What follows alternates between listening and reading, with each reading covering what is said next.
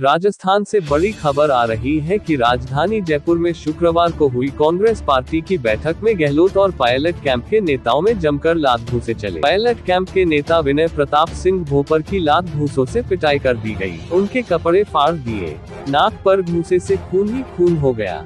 भोपर ने आरोप लगाया कि सांगानेर से कांग्रेस प्रत्याशी पुष्पेंद्र भारद्वाज और उनके भाई अभिषेक भारद्वाज ने अपने साथियों के साथ उनसे मारपीट की। पूरा वाक्य सांगानेर ब्लॉक कांग्रेस कमेटी अध्यक्ष और संगठन चुनाव को लेकर बुलाई बैठक में हुआ। मारपीट में कांग्रेस नेताओं ने ही बीच बचाव किया। इसके बाद विनय प्रताप भोपर पुष्पेंद्र भारद्वाज के खिलाफ मुकदमा दर्ज करवाने सांगानेर थाने पहुँच गए। उन्होंने कहा, मैं पीसीसी चीफ गोविंद सिंह डोटासरा से मांग करता हूँ कि ऐसे आदमी को कांग्रेस से हटाया जाए। मैं मर जाता तो मेरे परिवार का क्या होता? क्या कार्यकर्ताओं को मारकर राजनीति करेंगे?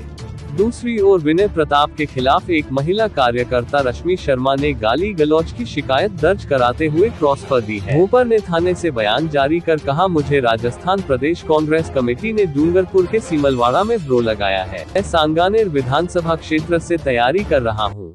यहाँ से प्रत्याशी पुष्पेंद्र भारद्वाज और उनके भाई अभिषेक और साथी जीतू जाखड़, राजीव शर्मा समेत अन्य लोगों ने मुझे मारा जबकि धर्म सिंह सिंघानिया और रामेश्वर नेताजी ने मुझे बचाया मैंने कहा था कि राहुल गांधी ने कहा है, भारत यात्रा जोड़ो। कांग्रेस नेता बुद्धि प्रकाश बैरवा बोल रहे थे कि मेहनत करने वालों को पार्टी में पद दिया जाना चाहिए। तभी कुछ लोगों ने उन्हें बोलने ऐसी टोका तो मैंने कहा, उन्हें बोलने दो। बात आरोप मारपीट शुरू कर दी।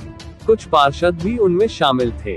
विनय प्रताप सिंह भोपर मुझे अभी राजस्थान प्रदेश कांग्रेस कमेटी के द्वारा मुझे भी डीआरओ लगा, बीआरओ लगाया गया है डूंगरपुर सिमलवाड़ा में। मेरा सांगानेर विधानसभा क्षेत्र में यहाँ से तैयारी कर रहा हूँ। यहाँ से जो प्रत्याशी है पुष्पेंद्र भारद्वाज जी ने मेरे साथ मारपीट की है।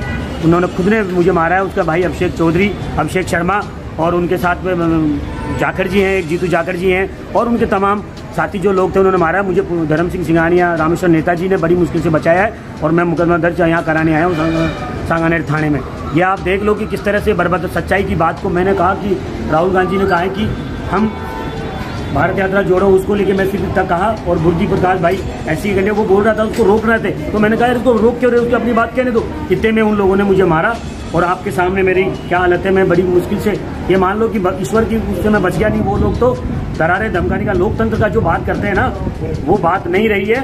कांग्रेस के कार्यकर्ताओं ने मुझे मारा, कांग्रेस के प्रत्याशी ने मुझे मारा और कांग्रेस के एक दो पार्षद उसमें थे, मैं उनका नाम भी राजीव शर्मा जी हैं और एक दो और होंगे भीड़ में सब लोगों ने मुझे मिलकर मारा और बाकी बिरदी चंद जी वगैरह और उनके ड्राइवरों ने सबने धर्म सिंह जी और इन्होंने मुझे बचाया। आप देख लीजिए किस तरह से मेरे साथ हो रहा है। मैं प्रदेश अध्यक्ष जी डोडासा जी, आपसे मांग करता हूँ कि ऐसे आदमी को कांग्रेस से हटाया जाए, क्योंकि जो लोग कार्यकृत करते हो सकता है मैं मर जाता तो मेरे परिवार का क्या होता? आप सोच के चलिए और इस तरह से राजनीति करेंगे, लोगों को मार के, कार्यकर्ताओं को मार के, उससे सीनियर कार्यकर्ता हूँ मैं, उससे कांग्रेस के बैनर पर मैंने चुनाव लड़ा है। आज मेरी क्या स्थिति है, आप सब देख रहे हो। मेरे को, मेरी नाक में बैंकर चोट आई है, पूरा मेरे शर्ट फाड़ दिया, मुझे मारने की, जान से मारने की कोशिश की और हो सकता है तो मैं अभी एफ़ कराने आया हूँ। तो आप लोग, सब लोग कांग्रेस को जोड़ने के लिए मदद कर रहे हैं, लेकिन सच्चे लोगों के साथ खड़े रहो, क्योंकि ये पुष्पेंद्र सबको मारना चाहता है या दबाना चाहता है। दोस्तों, वीडियो खुशियाँ चैनल को सब्सक्राइब ज़रूर करें, धन्यवाद।